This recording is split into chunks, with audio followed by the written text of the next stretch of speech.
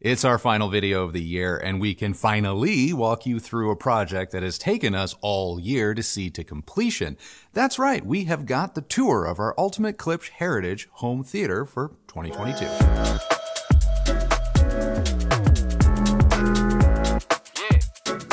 Now, we first reviewed the Cornwalls back in July, and ever since then, I have continued to fine tune things to get them just right. Not just for two channel, but for home theater as well.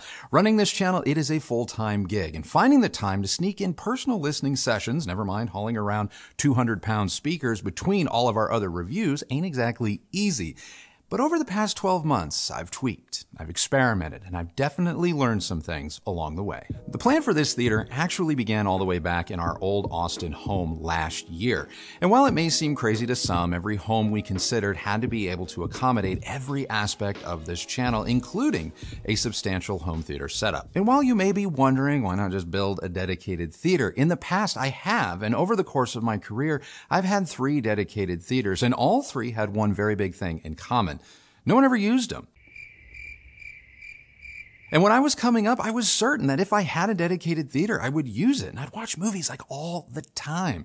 But fantasy and reality are often different. So for our new house, I knew I wanted our main living room to be able to be both a cozy and inviting space as well as a capable home theater. Now, one thing I loved about my old theaters was the presence of big, efficient horn speakers, similar to what you're going to find in a real commercial cinema.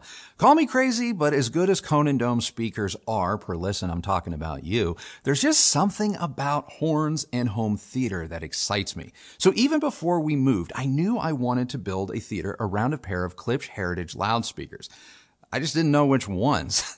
After weighing all the potential pros and cons, including Christy and I's love for the La Scalas, we decided to take the leap and had a pair of custom Cornwall 4s made to match our new interior design. And we chose a light oak veneer, which to this day, it still turns my head. I know I'm probably biased, but I think our Cornwalls are some of the most beautiful speakers I have ever seen.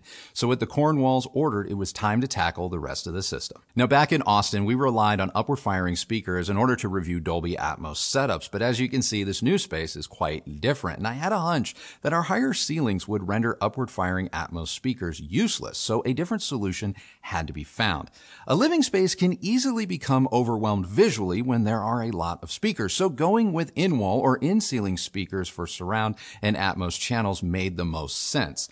Only if there's one thing Christy dislikes more than seeing a bunch of speakers, it's in walls and in ceilings. And since one side of our main room is open to another part of the home, in-wall speakers were out of the question, which narrowed our search to in-ceiling speakers.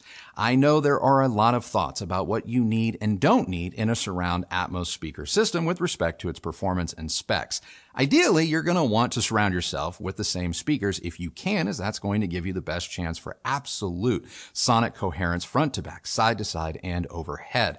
But I'm not about to use two more pairs of Cornwalls for surrounds and back channels, never mind trying to mount two or four in our ceiling. But commercial cinemas don't often use the same speakers across all of their channels either. In fact, a lot use speakers not unlike what you may have in your home, at least in terms of specifications. My old theater used compact cinema surrounds from JBL, and those speakers had rather consumer-friendly specs, such as a frequency response that only dipped down to about 50 hertz or so, hardly full range. So if 50 to 60 hertz was okay for Hollywood, surely an in-ceiling capable of similar performance was going to be good enough for me. So we got our hands on six six inch diameter Klipsch in ceiling speakers to serve as our surround, back, and Atmos channels. Now, if you caught our initial renovation series, you already have seen how we chose to lay out our surround speakers. The two Atmos speakers rest above and just slightly in front of where most left and right main speakers would go, followed by the next pair resting overhead but to the sides of our primary listening position, with the remaining two behind our listening position. This configuration allows us to test surround sound systems up to 7.1.2 and everything in between, which is clutch, because not every film is mastered in 7.1 5.1 or 5.1.4, so I love this system's flexibility. And after playing with our Cornwalls all year and kind of learning their unique quirks, I opted not to go with our usual subwoofers, but rather try something new, something smaller. While I love our Klipsch SPL 100 subwoofer, it's just too much of a brute paired with the Cornwalls. After some EQing, the Cornwalls really only need their bass augmented rather than replaced. Believe it or not, the best subwoofer I have found for this type of use is the Bowers & Wilkins ASW 608. The 608, it's a small sub, hardly B&W's best or most powerful, but it is so good at blending into a speaker's frequency response and disappearing both visually and aurally that it actually ranks among my favorite personal hi-fi finds of the past year. This inexpensive sub has everything you need, including speaker level inputs. While the sub isn't going to play down to 20 hertz with the authority of say a 12 inch sub, it plays low enough and with a ton of finesse that I prefer its more agile sound to its lack of brute force. Now, as for power, here's another curveball for you. Since our review of the Cornwalls back in July, I have tested them on a few different receivers, my favorite two being the Marantz 8015 as well as our Onkyo RZ50.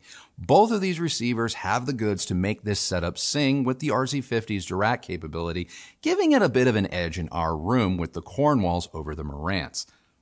But the receiver I actually prefer for this setup is the Yamaha Aventage A4A. The A4A has one key feature that for me is a game changer, and that is full manual parametric EQ. Now, a lot of receivers, they're going to give you auto room correction or a multi-band graphical EQ, but very few give you the ability to create your own PEQ curves, and the Yamaha does.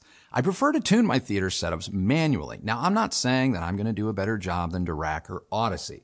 Okay, I'm going to do a better job than Audyssey, but I like having control over what I want to correct, and the Yamaha, more than just about any receiver we've had, lets me tinker until I'm satisfied. And I think the results speak for themselves. The Cornwalls are lively, fun, but sometimes they're really peaky, especially down low and up top. PEQ lets me keep things more or less in better alignment for even more detail to shine through with tighter, more nuanced bass. That's all I'm going to say about the Cornwall Yamaha relationship because I'm saving the other juicy details for our A4A review. Now, as happy as I've been throughout this process, there is one area where I feel there's still room for improvement, and that is the center channel. Now, initially, I had just planned on using one of our Heresy 4s below our screen, seeing as how that speaker was originally designed as a center speaker way back in the day. While I could split our media benches to accommodate a single Heresy, doing this puts the Cornwalls too far apart for best results in our room. So as much as I had hoped for the Heresy to work in this setup, sometimes your room will just force you to make other plans plans. So what you're seeing here is actually my version of a custom wrap RP500C from Klipsch. Keeping it real as much as I typically like this center speaker, I do not believe it is a good match for the Cornwalls. Having now completed this experiment, I would opt for a Phantom Center because the Cornwall center image, when properly set up, is pretty stellar and tonally better than the 500C. The 500C isn't as open and transparent as the Cornwalls throughout the mid-range and treble, definitely calling more attention to itself as the sound goes for being more wall-like to box-like. Again, not trying to poo-poo on the 500C. If we had reference Premiere speakers throughout rather than Heritage, it would probably be ideal. But in this scenario, I just don't recommend it. Which I guess leads me to my newest request of Klipsch please make a few heritage inspired center channel options. It isn't enough to offer a center with a Tractrix horn tweeter. It's the heritage speaker's horn mid-range that I think is the secret sauce. So please find a way to give users both in the form factor smaller or more flexible than a heresy. And I think you're going to be on to something. Oh, and by the way, I think we're all still waiting for my heritage sub. All in all, and most importantly, anchored by the Cornwall 4s, this setup is just a lot of fun and has transformed my space sonically into a true cinema. Unlike my old reference room that used actual theater speakers, the Klipsch setup gives me all of the thrills, but manages to be even more nuanced while looking good out in the open. I love watching big blockbuster action films, and few home theaters have managed to do a better job, placing me right at the heart of the action, taking me on such just a, a visceral ride like this setup does.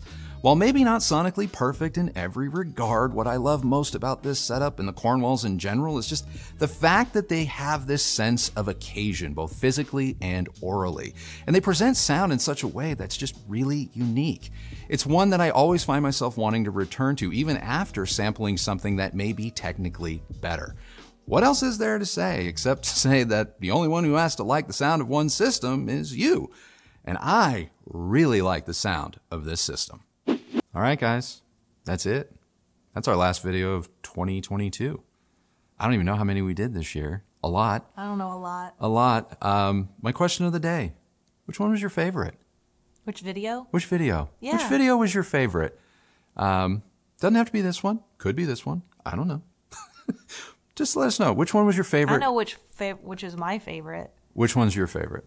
I think I am most proud of the Polk R700 review. Mm-hmm. Not the review. I mean, the review was good. Yeah, yeah, But yeah. I felt the conversation Oh, yeah. really just They put a bow on it. do- dove into Mm. a lot of what I think people struggle with in Yeah. this hobby. So that to me was mine. What was yours? Is it the Um, same? It is a tie. Oh, It is a tie. It's a tie with that one and not the final reveal of this room, but I think building the slat wall video. Um, as much as you guys like to give me crap for saying that that ooh home renovation is stressful, um, I just really liked that video. I thought it was a lot of fun. It was different, and you guys really turned out and watched it, so I was really proud of that. Um, yeah, I think those two for very very, different, reasons. Very yeah, different I, reasons. I, I'm into that. But I am curious, guys. What was your favorite? So let me know down in the comments below. If you like this video, please do give it a thumbs up, like, and subscribe, and go ahead and ring that bell so that you're notified when new videos come out. This is actually going to be really important going into the new year. I know no one likes notifications, but you probably should hit that bell because some of you are saying that you're not even seeing our new videos. We publish every Thursday and Sunday, so turn on notifications And they subscribe. and you subscribe. So turn on notifications so you don't miss out. Uh, if you use any of the links that Christy left for you down below, know that that is a great way that you've continued to show your support for this channel and the work that we do here. And both of us thank you all very, very much for doing that. Follow me on Instagram at Recovering Audiophile. And that's it for us today and for the year. Yeah, we hope everybody had a really good holiday Yeah. and that you've been safe and warm and had the opportunity to be with your family. Yeah, yeah. We we hope you all have had a great holiday. Continue to have a great holiday because New Year's is like this weekend. Uh, we will see you Sunday, but until then, have fun, be safe, be chill, enjoy your system because the only person who has to like the sound of it is you. So happy listening, everybody. Thank you so much for watching. See you in the new year. Bye.